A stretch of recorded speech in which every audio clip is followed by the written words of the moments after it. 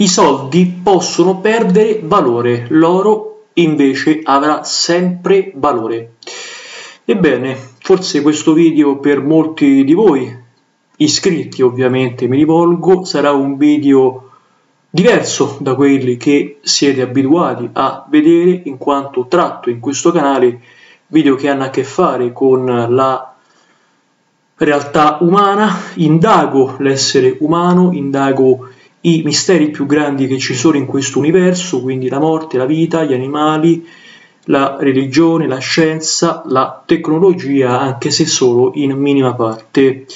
E oggi però ho intenzione di parlare di questo argomento perché in qualche maniera ha a che fare con l'essere umano, perché siamo, vuoi o non vuoi, attaccati al denaro, ai soldi, perché se io non ho i soldi, se io non ho le banconote appresso, non posso fare, non posso andare da nessuna parte, quindi siamo, è inutile negarlo, dipendenti dal denaro, dal dio denaro, dalle banconote, dalle monete.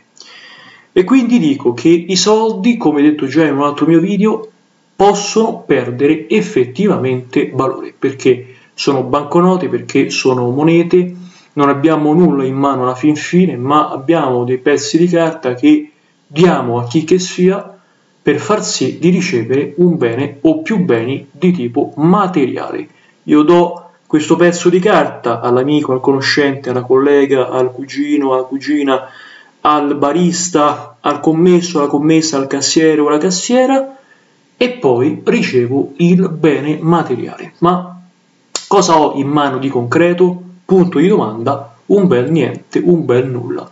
Invece è importante, invece è fondamentale rendersi conto che l'oro invece non perderà mai valore. Che cosa è l'oro? È innanzitutto un bene di tipo prezioso, ovviamente, che può trovarsi in giacimenti minerari e che grazie ad esso noi possiamo avere i soldi in cambio, ma non perderà mai valore. È un bene di rifugio. Che significa bene di rifugio? Significa che nel caso in cui spero mai, ma se un giorno ci dovesse essere una crisi economica in Italia oppure in qualsiasi altra nazione del mondo, del pianeta Terra, e ci sarà una crisi quindi fortissima della Madonna, tremenda, noi possiamo, esseri umani, italiani oppure di altre nazioni del mondo, affidarci tranquillamente e serenamente a loro il bene di rifugio per eccellenza, perché grazie a loro che non perderà mai valore,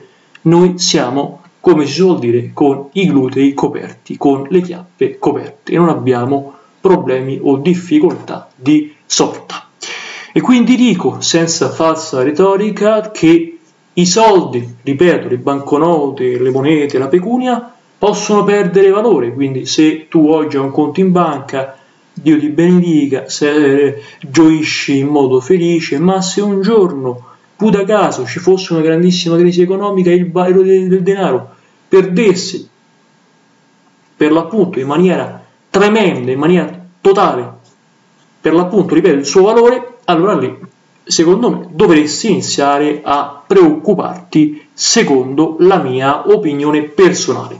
Ma finché ci sarà l'oro che diciamo così, viene considerato come un bene primario di eccellenza, di valore immenso, totale e assoluto, ti dico, investi sull'oro. Questo è un consiglio che ti do. Se hai la possibilità, investi sull'oro. Destina un 300, un 400 euro, per esempio, ad acquistare delle monete in oro oppure dei lingotti d'oro che poi eventualmente potrebbero esserti utili quando magari arriveremo in una situazione di pura emergenza. Spero mai e mi auguro che ciò non accada mai, però nella vita io dico sempre una frase ed è mai dire mai, mai dire mai. Una frase che penso hai ascoltato più e più volte nel tuo eh, nucleo familiare o anche al di fuori del nucleo familiare, ma in casa tua e che dimostra effettivamente che c'è bisogno di fare grande attenzione perché ritrovarsi, come si suol dire, con un palmo di mano oppure con un pugno di musche nelle mani è davvero molto semplice, è davvero molto facile. Quindi ripeto, fai attenzione perché l'oro è l'oggetto che non perderà mai valore. Siamo in tempi di carestia, non ci sono più soldi, ebbene, un lingotto d'oro, una moneta d'oro, un oggetto d'oro ha un valore pazzesco. Basta vedere anche quanti comproro sono fioriti nelle nostre città, a Roma, a Napoli, a Torino, a Bari, a Verona, a Vicenza. I comproro sono davvero in ogni parte. E tu pensa che se tu dai, per esempio, una catena d'oro che è lavorata, quindi non ha un valore molto elevato, a un comproro, tu addirittura potresti eventualmente ricavare da quella catena d'oro 300, 500, 600 euro. Dipende chiaramente da quanto pesa, dal suo peso specifico.